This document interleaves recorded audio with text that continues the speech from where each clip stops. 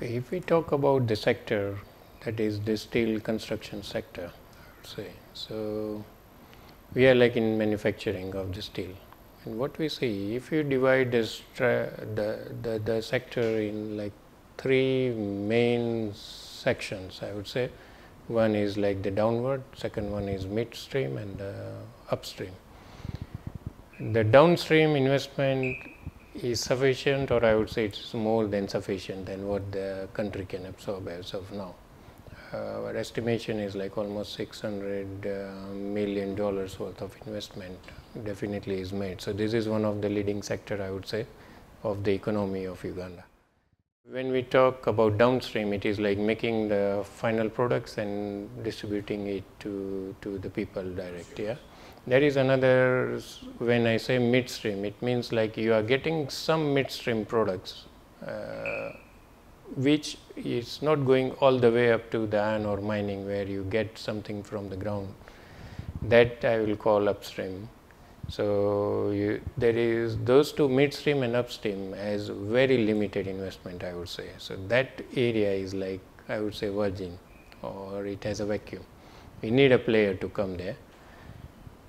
If that vacuum is filled, it can change the economy of the country because as of now the downstream is very much dependent on the importation. So, all upstream or midstream products comes out of the country or I would say out of the region rather the whole East Africa region. So, that is where the more investment is ready, needed. So, like the downstream is a bit crowded and on the midstream upstream is like the vacant and a vacuum. There are companies who can come to fill that gap provided some infrastructure challenges are met like iron ore in Uganda is one of the best iron content uh, what you find on the mines. It's more than I would say 60, it ranges from 60 to 80 percent which is quite good quality of the iron you get from the mining here. But the problem is you do not have reducing agent which is called coal or you need a gas which is like more latest technology. Now bringing coal up to here has its own implication in terms of cost, it does not work out as of now or bringing gas needs some pipelines on all this which is government infrastructure kind of sector needs to come in.